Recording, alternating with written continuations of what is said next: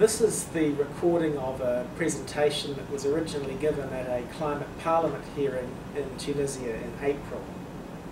We are uh, wanting to share uh, via the Agora portal some of the perspectives that were shared with that hearing on detailed tools by which members of parliament or Congress or legislatures can hold government to account uh, in respect of promoting renewable energy frameworks. I'm Charles Chauvel. Uh, I was a Member of Parliament in New Zealand uh, for seven years. Uh, I was the uh, Shadow Energy Minister and the Shadow Climate Change and Environment Minister for a period during that time. This uh, presentation draws on that experience and the experience of the Parliamentary Development Team and now the Inclusive Political Processes Team inside UNDP, which I currently lead.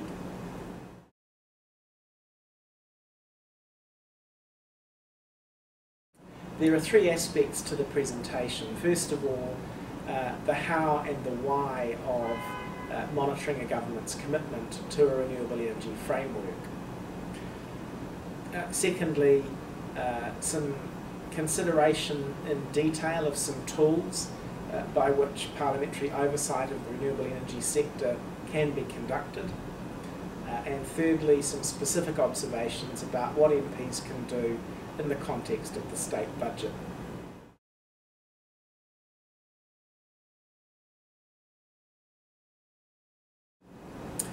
Let's start with the how and the why. Uh, I think uh, when a government has adopted a specific policy or legislative framework uh, concerning the promotion of renewable energy, there are really two aspects uh, to what MPs can do to uh, conduct effective scrutiny or control of the government in this regard.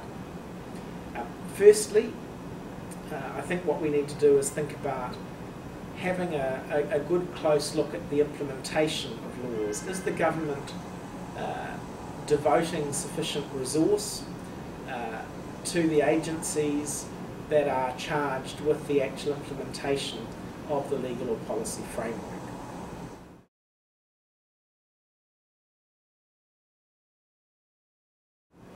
This regard, I think it's useful to have a look at a, a case study, uh, that of Senegal.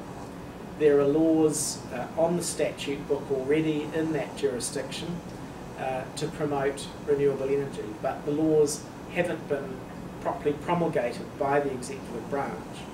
So, uh, through the Climate Parliament project, the collaboration uh, between UNDP and Climate Parliament, uh, MPs are being empowered to put some pressure on the government, uh, the Ministry of Energy, the Prime Minister's Office, the Council of Ministers, to press for the relevant presidential decrees to get that legislation promulgated so that agencies uh, charged with implementation can get on with their job.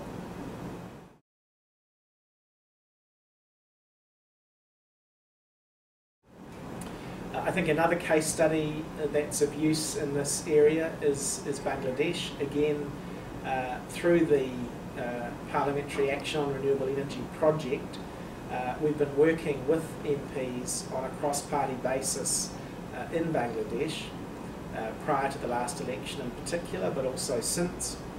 Uh, there's a Sustainable and Renewable Energy Development Authority, SREDA, created by an eponymous piece of legislation. It's yet to be properly implemented. MPs have been putting pressure uh, on the government to bring about implementation. They've signed an open memorandum to the relevant Parliamentary Standing Committee asking that the committee require the Ministry of Power to present an effective plan and budget to implement the law. They've written open letters to the Minister of Energy and the Minister for Finance calling for the establishment of the authority, that is, the, letters have gone to these ministers but also been published uh, openly so that people can see uh, the sort of pressure that's being put on the government.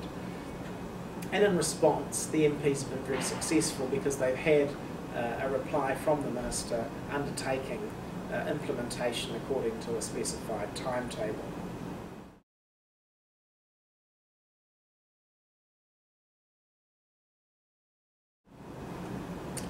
I said there were two aspects uh, to uh, scrutiny and control here. One was ensuring that uh, implementation is actually occurring. The other is to do with the allocation of funds.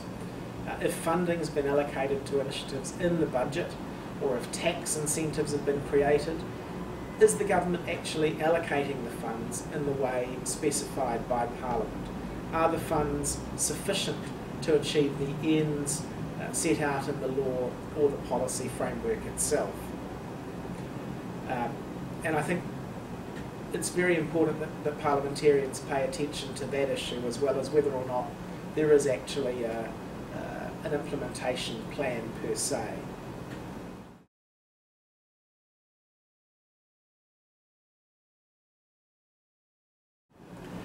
This next part of the presentation considers uh, specific tools to conduct parliamentary oversight of the renewable energy sector.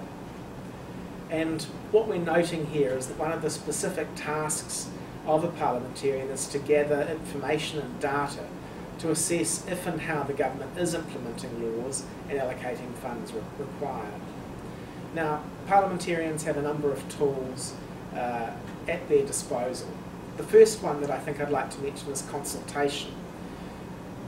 Parliamentarians should never underestimate what I think of as their convening power people are interested in what members of Congress have to say. The media is interested, civil society groups are interested, the industry groups that are affected are also interested because MPs in the end have influence uh, informally uh, by virtue of the, uh, the office that they hold.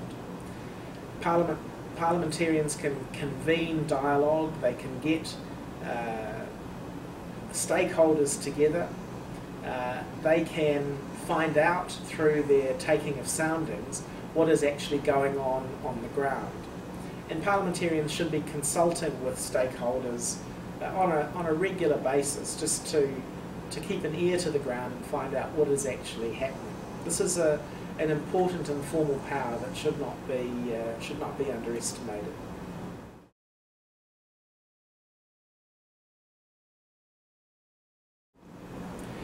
Let's look at a, another case study here, that of Congo-Brazzaville. In 2013, some of the key stakeholders, including uh, the presidents of the Central African Development Bank, Congo's Rural Electrification Company, the director of the Agency for Rural Electrification and others, were consulted to identify windows for parliamentary action and develop strategies for potential legislation. Again, this was done through the PARE project in August 2013, a parliamentary workshop on climate change and renewable energy was organised and included inputs from a number of key stakeholders, including UNDP. NGOs were also involved. At the conclusion of the workshop, uh, a framework strategy for parliamentary action uh, was agreed, and it, and it, included developing a specific legal framework to support independent developers of renewable energy in Congo Brazzaville rather than uh, the traditional developers who had uh, perhaps been constrained by the previous regulatory framework. So this informal power of convening, of consulting, of bringing stakeholders together to actually produce action, as well as to find information, is an important one.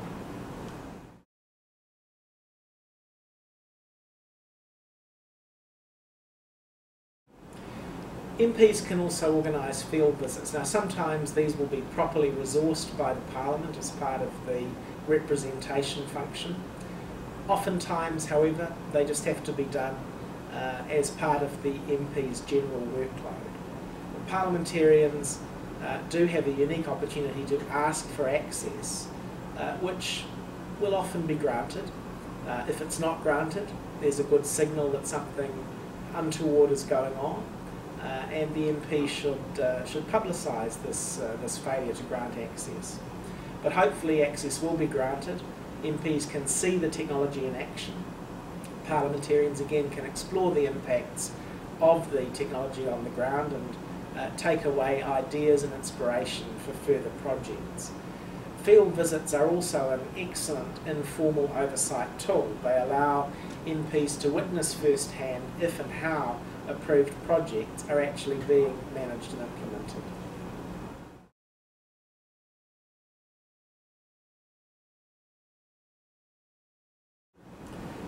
Let's not forget some of the formal tools that are available to parliamentarians. Question time. In many, indeed in most parliaments, uh, government ministers have to come to the Assembly uh, and answer questions about uh, matters that are of interest to members. This is an excellent example uh, for of, of, of, of, the sort of accountability tool that is at the disposal of MPs, based on information gathered through research, consultations, the informal mechanisms that we've just discussed. Uh, parliamentarians can ask questions, including follow-up or supplementary questions, where the rules of procedure allow that, uh, to require the Minister to state publicly the Government's position on particular uh, policy requirements or on implementation matters that the member might be particularly concerned about. If the question time is done is, is, is conducted according to a timely fashion or if the answer's particularly controversial, uh, there may well be an opportunity for the parliamentarian to garner profile for him or herself, but this can also uh, be used to promote uh, the MP's agenda, and if it's in favour of renewable energy, uh, again, it's a, it's a very good way to further interest in this, uh, in this important area.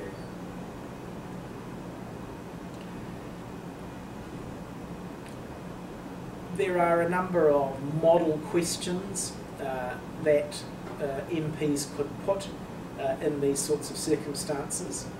Uh, we have formulated and suggested a couple here based on uh, the project's work to date, and we're very happy to work with MPs to come up with further refinements on these types of questions. I'm not going to go through them verbally now because of time constraints, but hopefully they can be seen on the screen behind me and they can give an idea of the types of the scope of question and supplementary questions that can be asked uh, during question time and in respect of, uh, of written questions to ministers where that's uh, also a, uh, a tool available to, to members.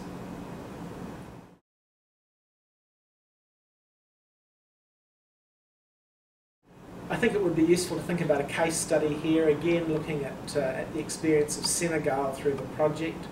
Uh, six parliamentary questions were asked on the precise uh, nature of the implementation of the government's renewables plan.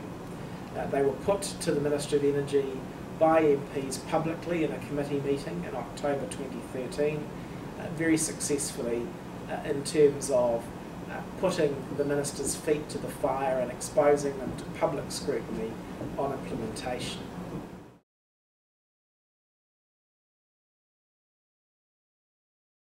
Another case study, Morocco, 25 parliamentary questions drafted, 13 of which raised in the plenary of Parliament itself uh, and also in meetings of the Energy and Environment Committees, focusing on specific areas where the government had made commitments in the renewables space, uh, and a number of them were answered by the, the responsible ministers. Again, nothing like the disinfectant of sunlight uh, to, to ensure that MPs are asking these questions in public.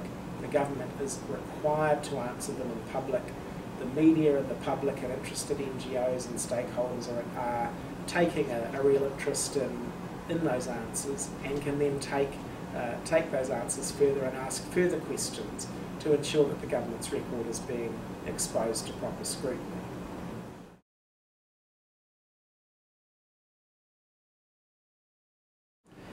I think because of the importance of this area, we'll take one more case study, and that of India. Uh, it's been a, an extraordinarily important uh, achievement of the project that a cross-party group of parliamentarians since 2010 uh, was working to, uh, to try to get the government of India to lift its game on a commitment to renewables. And I think uh, we've seen uh, this effort bear fruit uh, many times since. Uh, the urging was to adopt a target of 15% renewable energy and to improve grid infrastructure.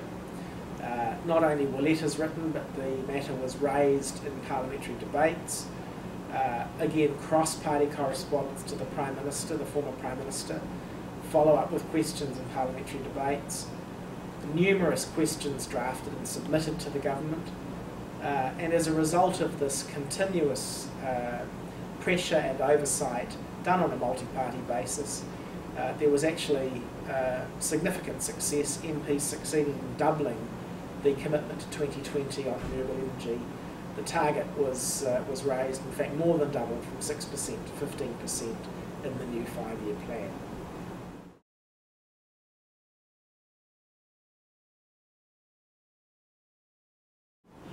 Another important tool that's available in many parliaments is interpellation. So what this mechanism tends to do is it requires the minister to come to the parliament and uh, engage in a debate on a specific topic of interest. In some parliaments, uh, the interpellation procedure results in a, in a, necessary confidence vote in the minister at the conclusion of the debate.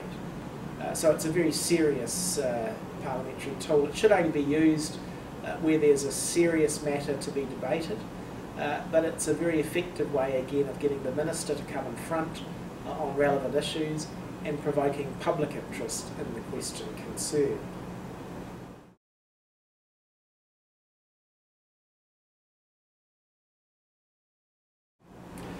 And let's not forget an extremely important parliamentary accountability mechanism, parliamentary committee hearings.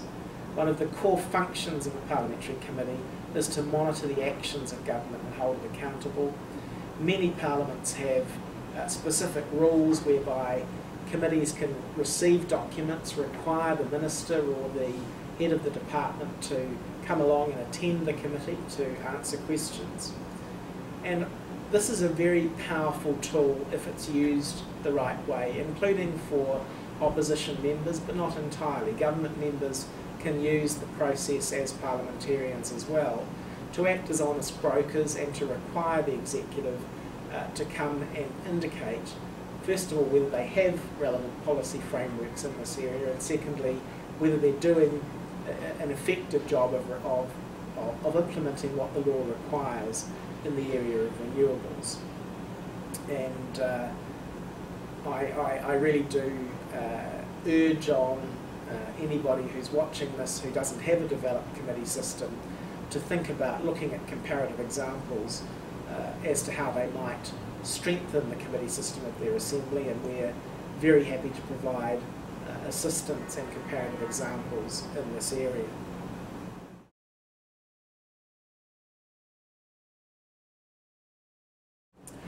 Let's think about a, another case study here. The Parliament of the United Kingdom, since uh, it began uh, its experiment with coalition government, has seen a, a, a, revamp of the powers of the committees, particularly of the House of Commons in Westminster. Uh, to meet its Renewable Energy Directive target of 15% of renewables by 2020, uh, the government anticipates that about 12% of heat will have to come from renewables.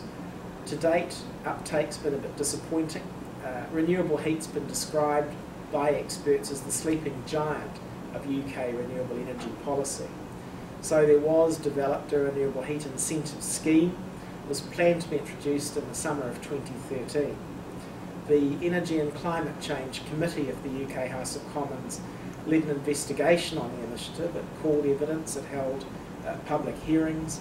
Uh, the evidence was used to identify witnesses for oral evidence at a very widely reported hearing in March 2013. This publicised the initiative, it drew attention uh, of the public to it, it made it very clear that this was something that MPs were looking closely at, and it sent a very clear signal to the government that this was something that the public expected would be taken seriously and well implemented. So again, uh, the, the power of sunlight, the power of, uh, of bringing into the open uh, public administrative decisions at a political level and at a bureaucratic level, uh, very, very important uh, method by which members of parliament can play their scrutiny and control role.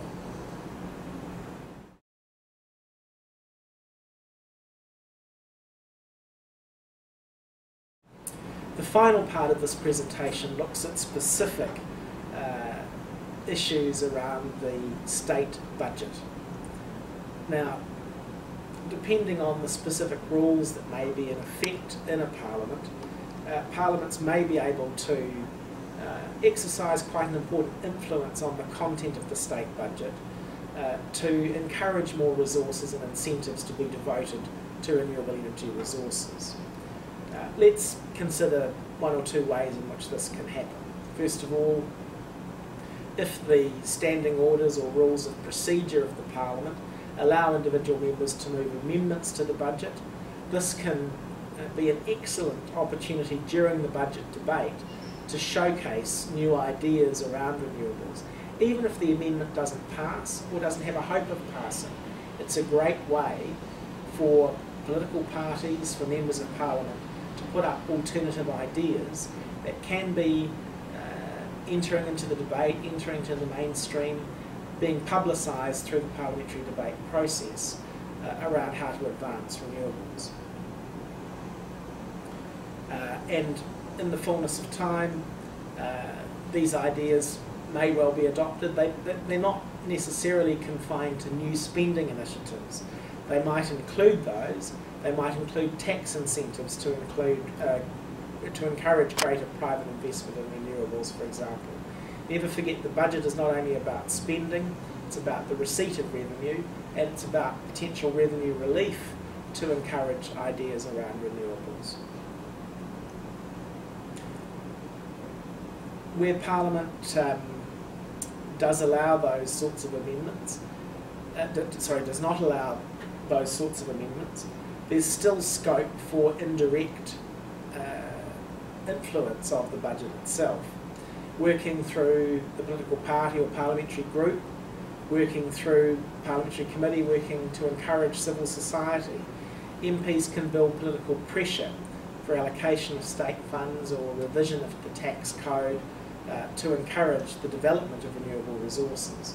So, uh, again, the informal convening power is one that should not be forgotten here. And these should always, I think, be done uh, ideally as part of a, a more coherent, wider uh, strategy rather than as, as, as individual uh, attempts to either uh, diminish the tax base or, or encourage greater spending. But, but clearly you do what you can in these areas. And again, the, the aim of the exercise here is to get attention uh, to alternative ideas to, to promote renewables, to demonstrate that there is a coherent framework of, of, of debate around doing so, and to uh, encourage, advise, exhort, sometimes shame the government of the day into taking renewables more seriously. I think it's important to indicate that once the state budget passes uh, and once these this exchange of ideas has occurred, the role of the MP or congressman, congresswoman uh, changes. Uh, once the budget's passed, it's time for scrutiny. So work in those committees, public accounts, budget and finance, energy, development, to ensure that the allocated funds are properly spent or that any tax incentives are being properly utilised. Again, public hearings are terribly valuable. Uh, they, they allow media to participate, civil society to participate, the industry itself to present its perspectives on what other things can be done. And don't forget the role of the role of the Auditor General or the uh, the Supreme Audit Authority, the Cour des Comptes, whatever the particular agency that's charged with auditing the state accounts is concerned. Form as close a relationship as possible with them, encourage them to be uh, proactive in terms of auditing the government where that's permitted in terms of the regulatory regime to ensure that commitments around spending or tax relief concerning renewables are actually being uh, delivered in the way that is promised.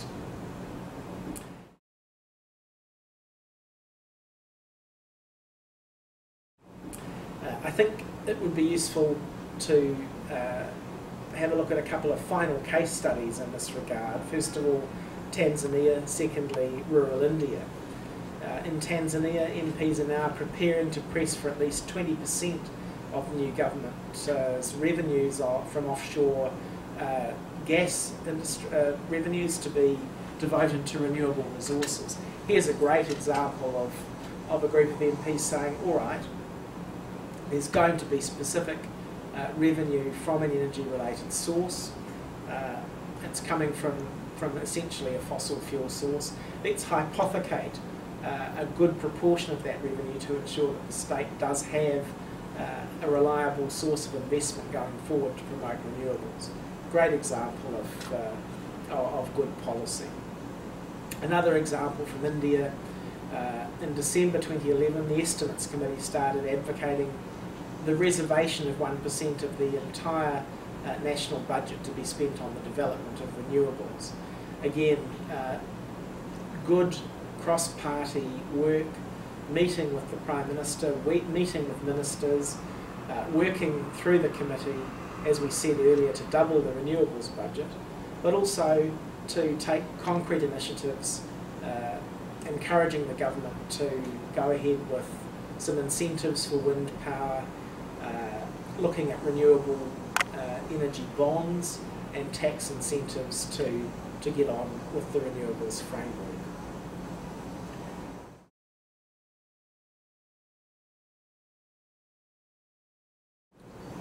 We're committed at UNDP to uh, ensuring that MPs and congressmen and women have the tools available to them and exercise those tools to encourage uh, legislative and policy frameworks that promote development priorities.